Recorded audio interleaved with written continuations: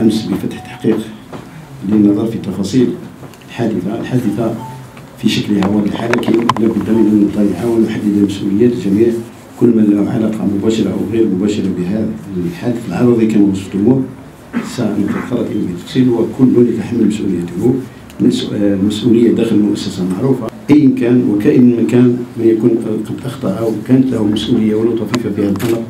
سيطبق عليه القانون بكل صرامة